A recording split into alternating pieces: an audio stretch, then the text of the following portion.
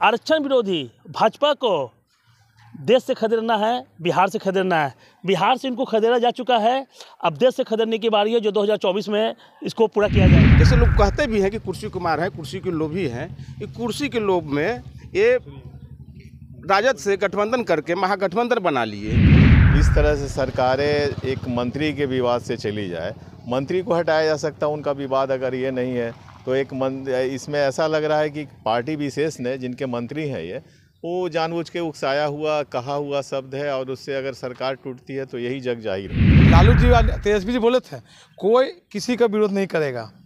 तो ये बाद में कभी सुधाकर जी कभी शिक्षा मंत्री ये सब टोनबाजी कर रहे हैं ये टोनबाजी से तो राजनीतिक बिगड़ेगा।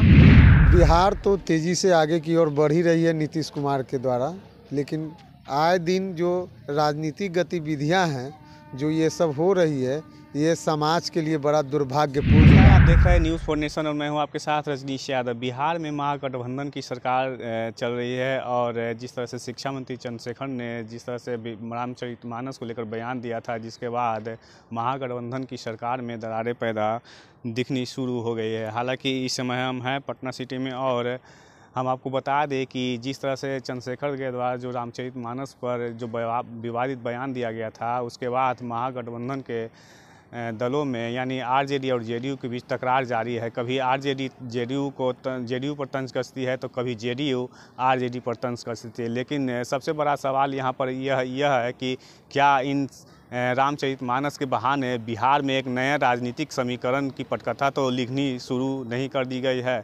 सवाल यह उठता है कि बिहार में क्या एक बार फिर से नए राजनीतिक समीकरण बनने जा रहे हैं या फिर नहीं? क्या फिर बिहार में नीतीश कुमार एक बार फिर पलटी मार सकते हैं या फिर मध्यावधि चुनाव के आसार दिख रहे हैं? इन्हीं सब बातों को टटोलेंगे यहाँ पर कुछ आम लोग के साथ साथ राजनीतिक पार्टियों के लोग भी हैं, उनसे हम जानेंगे कि आखिर बिहार में ये जो महागठबंधन की सरकार है किस ओर बढ़ रही है?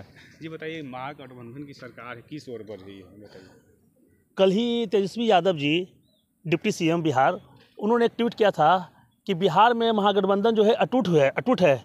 ये जो महागठबंधन बनी है ये बिहार ही नहीं पूरे देश देश देश के लिए बनी है। क्योंकि आरक्षण विरोधी भाजपा को देश से खदेड़ना है, बिहार से खदेड़ना है। बिहार से इनको खदेड़ा जा चुका है। अब देश से खदेड़ने की बारी है जो 2024 में इसको पूरा किया जाएगा। और रहा बात श्री रामचरित मानस जैसे पवित्र ग्रंथ है, जो हिंदू के आस्था का विषय आस्था से जुड़ा हुआ है। और पूरे देश के जितने भी धर्मावल, धर्मावलंबी लोग हैं, धार्मिक चीज़ों से सरोकार रखते हैं, उन सब के लिए ये एक आदर्श ग्रंथ है। इसके बारे में जो शिक्षा मंत्री बिहार प्रोफेसर चंद्रशेखर जी ने जो विवा जो बयान दी है इस बयान को की सबसे पहले तो मैं बहुत कई निंदा करता हूँ घोर निंदा करता हूँ और ऐसे शिक्षा मंत्री को मंत्री को यथाशीघ्र शिक्षा मंत्री के पद से पद मुक्त कर कर कर इनको इनको विधायिका से पद मुक्त कर कर कर इनके ऊपर कड़ी सज़ा मिले ऐसा मैं प्रावधान प्रावधान चाहता हूँ। कारण आज आप देख रहे होंगे जिस तरह से नुपुर शर्मा जी ने अ, कुरान पाक के खिलाफ जो भी टिप्पणी की तो उनसे जाकर के जो है भाजपा से उनको निष्कासन के लिए पूरे देश से बवाल मचा।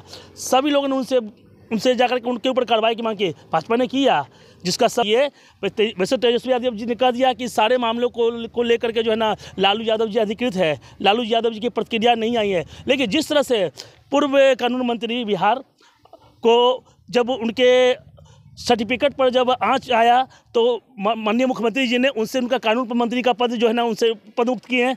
जिस तरह से सुधाकर सिंह जी कृषि को, कृषि पॉलिसी को लेकर के राज्य सरकार पर अड़चने डाल रहे थे, राज्य सरकार पर उंगली कर रहे थे तो जिस तरह से तेजस्वी यादव जी ने उनको, उनके पद से पदमुक्त किया गया, उसी तरह से यहाँ पर लालू जी को चाहिए कि यथाशीघ्र, क्योंकि पूरा देश ये चाह रही है। पूरा देश से आवाज़ उठ रहा है कि ऐसे जाकर के जो है ना अप्रभावी जो शिक्षा मंत्री है जिन्होंने इतना गंदा बयान दिया है इनको जाकर के जो है शिक्षा मंत्री के पद से मुक्त कर करके इनको विधायक से पद मुक्त किया जाए।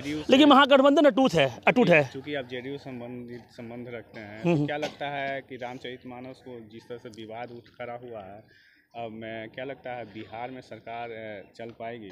क्योंकि दोनों एक दूसरे पर तंज कस रही है देखिए जैसा कि आप जानते हैं कि भारत एक लोकतांत्रिक लोकतांत्रिक देश है।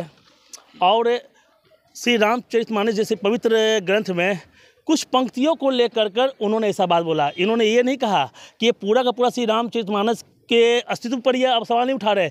उसके कुछ पंक्ति पर प्रोफेसर चंद्रशेखर सिंह जी ने आपत्ति उठाई है। लेकिन उनको ऐसा करने की इजाज़त उनको उनको नहीं मिलता है कि मैंने पूछा क्या सरकार चल पाएगी? हाँ सरकार तो अटूट है सर। महागठबंधन अटूट है बिहार में। बिल्कुल निश्चित तौर पर जो है ना ये जो है 2025 तक बिहार में मुख्यमंत्री नीतीश कुमार जी रहेंगे। क्योंकि जनता ने जो मैंडेट दिया है आपको याद होगा पिछले तीनों चुनाव में जो जनता ने मैंडेट दिया वो और जो चुनाव लड़ी गई, वो मुख्यमंत्री नीतीश कुमार जी के चेहरे पर लड़ी गई। और जनता ने मुख्यमंत्री के लिए उनको मैंडेट दिया। निश्चित और आज भी हमारे बिहार के मुख्यमंत्री नीतीश कुमार जी हैं। अब महागठबंधन के जो इस तरह के जो बीते हुए कुछ समय के कार्रवाई को देखिए आप तो महागठबंधन को चलना है, तभी तो जाकर के इस तरह का जो भी आप, आपत्तिजनक चीज़ों तो उस पर जो कार्रवाई किया जाता है, इन पर भी निश्चित तौर पर कार्रवाई होगा। चलिए, आप बीजेपी से हैं, आप बताइए कि क्या आसार लग रहे हैं कि बिहार में सरकार नहीं, नहीं, देखिए- नई पटकथा लिखी जानी है? देखिए ऐसा है 2020 के जब चुनाव हुआ तो जनता ने मैंडेट एनडीए गठबंधन को दिया। ये सोच के दिया कि नीतीश कुमार की एक चेहरा थी और केंद्र में नरेंद्र मोदी की चेहरा थी डबल इंजन की सरकार थी। इसी चेहरा पर जनता ने मैंडेट अपना मुहर लगाने के काम की। इनको मुख्यमंत्री जी को लगा कि हम बिहार की राजनीति से हम बाहर जाना चाहते हैं, देश के प्रधानमंत्री बनेंगे। ये कुर्सी के लोभ में, जैसे लोग कहते भी हैं कि कुर्सी कुमार है, कुर्सी के लोभी हैं ये कुर्सी के लोभ में ये राजद से गठबंधन करके महागठबंधन बना लिए। महागठबंधन बनाने के कारण जब इनको पता चला कि देश में प्रधानमंत्री की वैकेंसी के रूप में विपक्ष में भी ममता बनर्जी, केजरीवाल जी, ऐसे कई एक लोग हैं तो उनको अब लगा कि कहीं जगह हमको अब ऊपर में भी नहीं मिलेगा और इस तरह से हमको कहीं प्रधानमंत्री बनने का कोई चांस नहीं है। तो इन्होंने अपने मंत्रियों के द्वारा अमादित बयान दिया कर कर और सरकार को किसी तरह से टूट जाना इनकी मंशा ज़ाहिर करता है और रह गया भारतीय जनता पार्टी को। भारतीय जनता पार्टी कतई अब इनको साथ में नहीं लेगा, क्योंकि ये आदमी को ज़ीरो से ज़ीरो ज़ीरो से हीरो बनाने में अगर निभाया है कोई दल तो भारतीय जनता पार्टी निभाया है। जब इनके कोई बावजूद नहीं थी, उस समय भारतीय जनता पार्टी ने इनको मुख्यमंत्री के चेहरा के रूप में बिहार में देने का काम किया। जब इनको अगर इतना ही काबिलियत है या कि इनके पार्टी में इतनी दम है तो ये अकेले आके बिहार में एक बार लड़के देख ले कि इनको क्या औकात पाता जनता दे देगी। जनता बता देगी कितना औकात में नीतीश कुमार की पार्टी है जनता दल यूनाइटेड। हमको तो नहीं लगता है कि जनता दल यूनाइटेड आज की आज के परिवेश में ए, कोई बड़ी पार्टी है। जो जनता ने 2020 में दिखा दिया इनको तो तैंतालीस सीट पर ला रख दिया।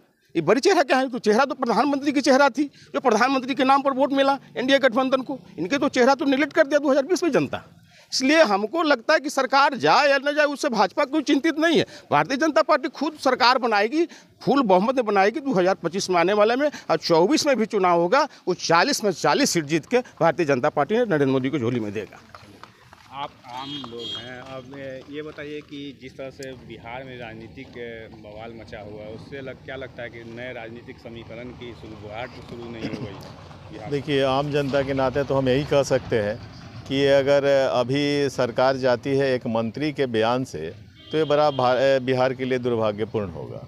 इस तरह से सरकारें एक मंत्री के विवाद से चली जाए, मंत्री को हटाया जा सकता, उनका विवाद अगर ये नहीं है तो एक मन इसमें ऐसा लग रहा है कि पार्टी विशेष ने, जिनके मंत्री हैं ये, वो जानबूझ के उकसाया हुआ, कहा हुआ शब्द है, और उससे अगर सरकार टूटती है तो यही जग ज़ाहिर होगा।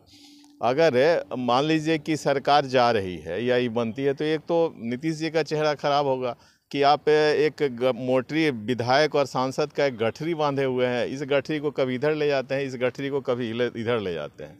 तो बिहार में ब्यूरोक्रेट्स क्या काम करेगा? आप बिहार का डेवलपमेंट की बात अगर करते हैं तो डेवलपमेंट की बात तो हो नहीं रही है। कभी इस बात पे सरकार जाएगी कभी उस बात पे। पब्लिक को आप काम करने के लिए नहीं कर रहे हैं कर रहे हैं। वो डेवलपमेंट का विकास का, न कोई उसके और सब चीज़ का बात देखा जा रहा है। केवल सरकार बनाने, बिगाड़ने में ही समय बीतता जा रहा है तो ये बड़ा दुर्भाग्यपूर्ण होगा। अगर उनका बयान सही में दुर्भाग्य गलत था, उनको एक मंत्री को हटाया जाए और सरकार जैसे चल रही है, वैसे चलाए, ये क्या हुआ कि पाँच महीना सरकार चली, फिर दूसरे के बयान से टूट जाए, ये तो बहुत गलत माना जाएगा आम जनता में। और आम जनता क्या सोचेगी कि हम क्या मैंडेट क्या देते हैं और क्या हो रहा है?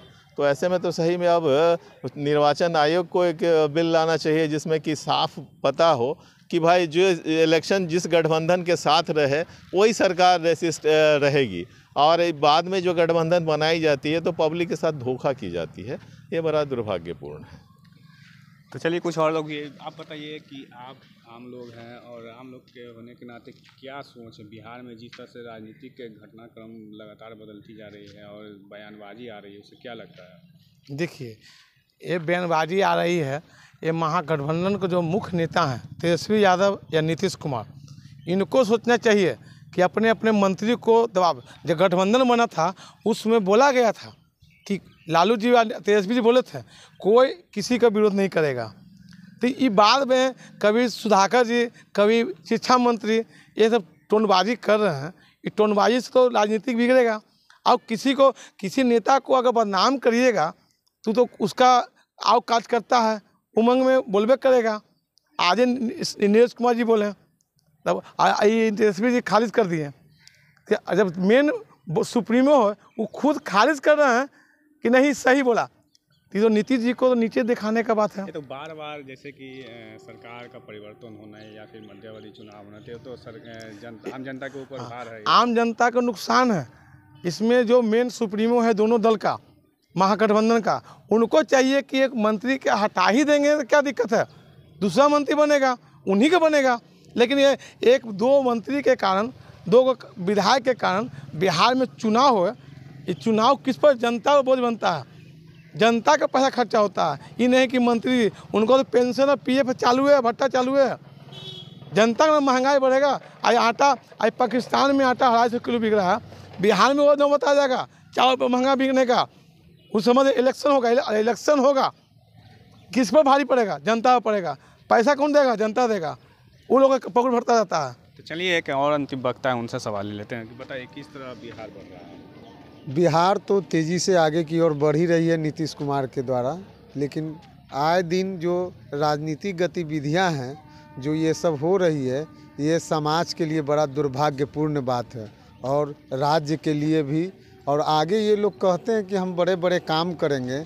अभी छोटे छोटे काम में लोग की ये स्थिति है, आगे ये लोग किस तरह से गठबंधन चलाएँगे ये तो भगवान भरोसे ही है। पार्टियाँ जो हैं आपस में उलझ जाती हैं जिसके कारण बिहार में प्रगति का रास्ता है जो वो बंद हो जाता है तो इसे किस तरह से आगे बढ़ाया जा ये लोग अपने अपने दल के जो नेता हैं मुखिया हैं वो लोग अपने अपने जो विधायक हैं मंत्री हैं उनको अपने अपने कब्जे में रखे कि वो इधर उधर नहीं जाए और अलग उथल पुथल बयानबाजी करने से बचे। इससे आपकी राज्य की गरिमा पे ही